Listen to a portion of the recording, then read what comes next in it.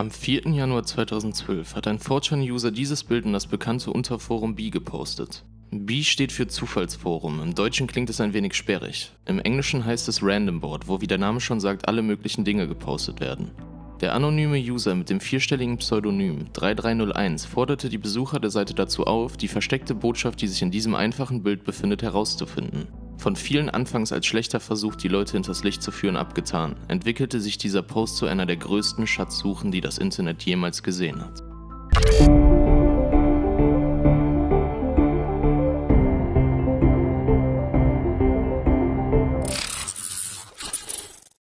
Nach nur wenigen Minuten nachdem das Bild gepostet wurde, fand ein User heraus, dass wenn man das Bild im Texteditor öffnet, eine Zeile eines geschriebenen, erkennbaren Textes offenbart wird. Eine weitere Zeile stellte, nachdem man die Cäsar-Verschlüsselung dechiffriert hat, einen Link dar. Dieser Link wiederum führte zu einem weiteren Bild. Das Bild der Ente sah zuerst nach einer Sackgasse aus und beinhaltete keine eingebetteten Informationen. Der Text wegweiste die User mit einem Augenzwinkern zu einem Programm namens Outguess. Wenn man mit diesem Programm das erste Bild öffnete, konnte man weitere Informationen extrahieren, welche zu einem Subreddit führten. Die verschiedenen Posts in diesem Subreddit enthielten Informationen über ein Buch, Bearbeitete man das Buch mit einem Code, bekam man eine Telefonnummer heraus und wenn man diese anrief, hörte man folgende Nachricht. Very good. You have done well. There are three prime numbers associated with the original final.jpg image. 3301 is one of them. You will have to find the other two. Multiply all three of these numbers together and add a .com on the end to find the next step. Good luck. Goodbye. Am nächsten Tag war das Rätsel vom User 3301 überall im Internet zu finden.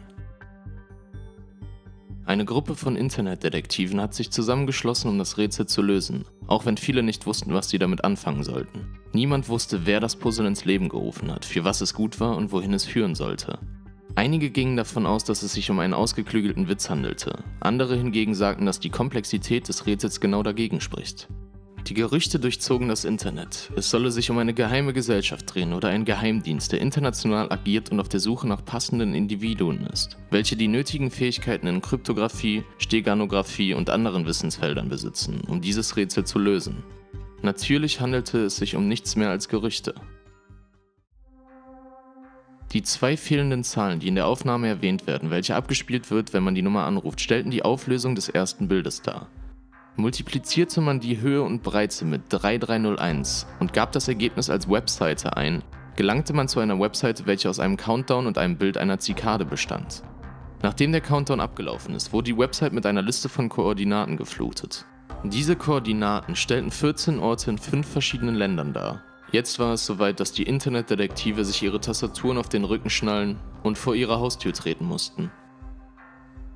Die Gerüchte, dass es sich um eine geheime Gesellschaft handelte, verhärteten sich. Nur eine internationale Organisation hätte die nötigen Ressourcen, um eine Schnitzeljagd in dieser Größe zu veranstalten. Es konnte, so zumindest der Wunsch von vielen, kein Troll sein. Es musste sich um etwas anderes, etwas Größeres handeln. An jedem Ort, zu dem die Koordinaten gehörten, fand man ein Poster, auf dem das bekannte Symbol der Zikade und ein QR-Code war. Filter over here. See, I got it, got it right there. Oh. Yeah, it's taped. Scannte man diesen Code, führte er zu einem Bild, das Bild zu einem weiteren Rätsel, das Rätsel zu einer Webseite. Doch hier war Endstation für die meisten, denn nur die ersten, die das Rätsel gelöst haben, kamen hier weiter. Für den Rest stand dort nur folgender Text: We want the best, not the followers. Die Finalisten wurden auch davor gewarnt, sich mit anderen zusammenzutun und Informationen bezüglich der folgenden Stufen des Rätsels preiszugeben. Diese Aussage impliziert natürlich, dass nicht jeder auf diese Warnung gehört hat. Doch die, die auf die Ersteller des Rätsels gehört haben, werden die finalen Gänge des Labyrinths gegangen und am Ende angekommen sein. Nach ungefähr einem Monat erschien ein weiteres Bild in einem Subreddit mit der Nachricht, dass sie ihre Suche abgeschlossen haben. Cicada hat anscheinend die Person gefunden, die sie finden wollten. Was mit den Finalisten passiert ist, weiß niemand so genau, aber dazu gleich mehr. Weil die Fragen, die das erste Bild aufbrachte, immer noch nicht beantwortet und von Cicada 3301 auch nicht aufgedeckt wurden, gingen viele davon aus, dass es nichts mehr als eine ausgeklügelte Idee war, die viele dazu motivierte, ihre Zeit zu verschwenden. Immer noch wusste niemand, wer hinter dem Rätsel stand, wofür es gut war und was am Ende zu finden ist.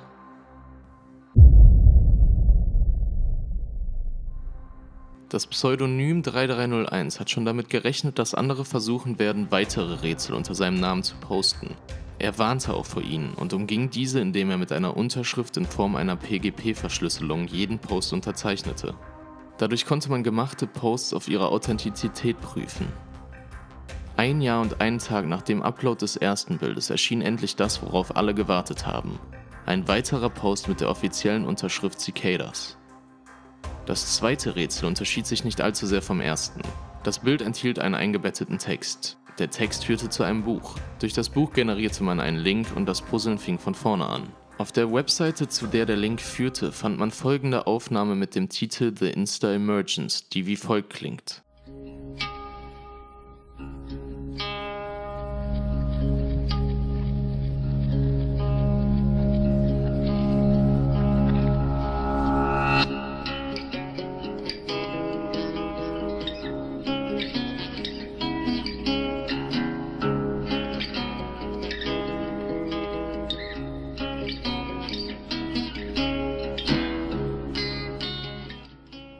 Ein weiterer Hinweis führte zu einem Twitter-Account, auf welchem nur kryptische Nachrichten gepostet wurden.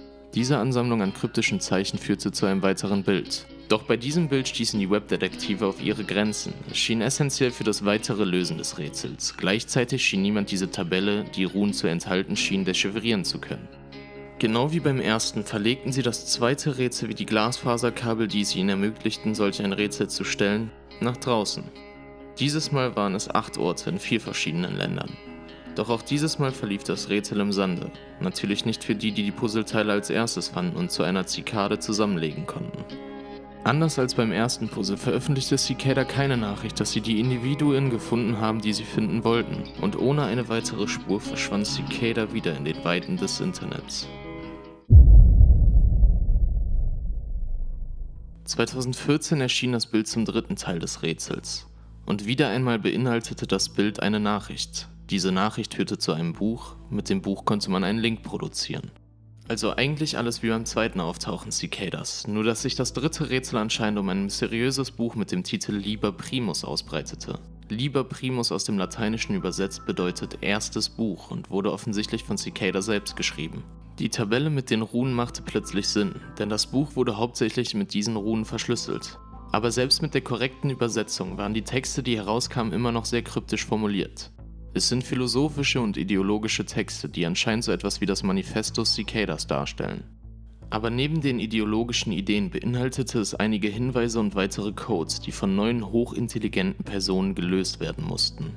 Eine Seite des Manifestos verweist klar formuliert auf eine Adresse im Deep Web, welche aber bis heute immer noch unentdeckt bleibt.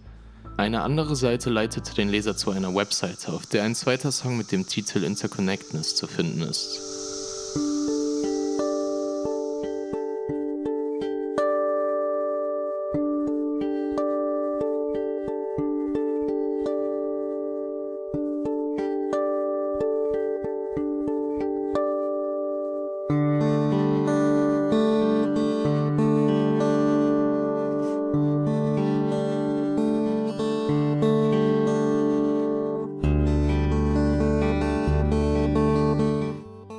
Trotzdem ist der größte Teil des Buches immer noch unübersetzt. Nur 19 von den 74 Seiten wurden bisher übersetzt. Und wie schon gesagt, selbst einige der übersetzten Seiten führten ins Leere. 2015 war ein Jahr, in dem Cicada komplett im Hintergrund blieb und viele vermuteten, dass die vermeintliche Geheimgesellschaft sich erst wieder meldet, wenn jemand ihr Erstlingswerk Lieber Primus übersetzt hat. 2016 bestätigte Cicada diese Vermutung mit einer Nachricht ihrerseits. Seitdem sind vier Jahre vergangen und es gab keine wirklichen Erfolge in der Entschlüsselung des Liber Primus. Und Cicada hat sich seitdem nicht mehr gemeldet. Ob sie wiederkommen oder nicht, ist genauso unklar wie der Erfolg der Entschlüsselung des Werkes, welches sie vielleicht dazu veranlassen würde, wiederzukommen.